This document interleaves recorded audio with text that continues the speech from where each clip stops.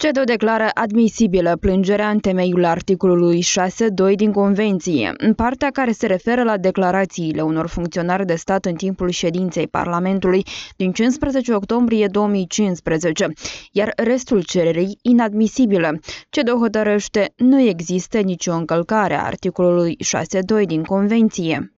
Mai exact, este vorba de articolul care face referire la prezumția nevinovăției și despre care Vlad Filat susține că i-a fost încălcat în declarațiile oficialelor de atunci. Cu 79 de voturi, Parlamentul Republicii Moldova a aprobat proiectul, de, a aprobat hotărârea privind încuviințarea ridicării imunității parlamentare deputatului în Parlament Vladimir Filat. În momentul în care o să vorbesc, o să sară în aer tot sistemul ăsta politic din Republica Moldova și poate a venit timpul să sară în naibii odată în aer și să construim ceva sănătos. Fostul deputat PLDM a venit și cu explicații în urma deciziei CEDO.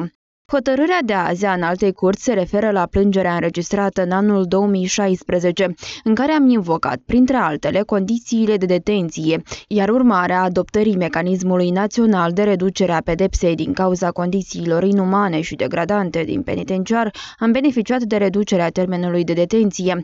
Obiectul examinării în prezenta cauză a fost faptul dacă legislația națională permite revizuirea legalității arestului unei persoane pe durata judecării apelului. Adițional, Curtea a dat aprecierea în ce măsură expunerile publice în cadrul ședinței Parlamentului de ridicare a imunității de deputat au respectat sau nu principiul prezumției nevinovăției.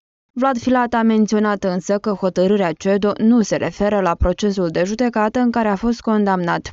Ilegalitățile comise în timpul procesului de judecată fac obiectul unei plângeri separate, care a trecut etapa expunerilor părților, urmând a fi pronunțată o altă hotărâre CEDO.